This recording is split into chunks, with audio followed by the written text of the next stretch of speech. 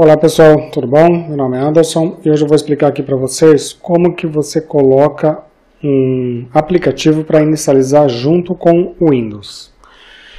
Eu fiz um vídeo é, fazendo o contrário, para você tirar o aplicativo que inicializa junto com o Windows. Eu vou deixar na descrição e nos cards aí do vídeo, tá?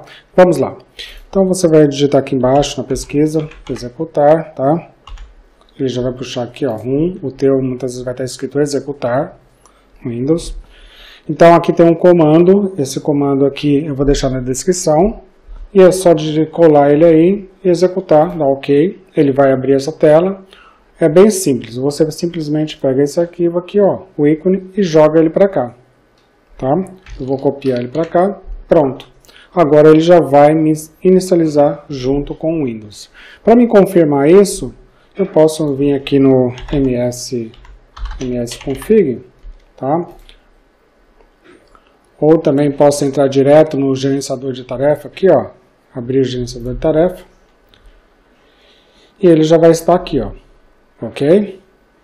Então, era isso que eu queria passar para vocês, é bem simples, tá? Muito obrigado pela atenção e até mais.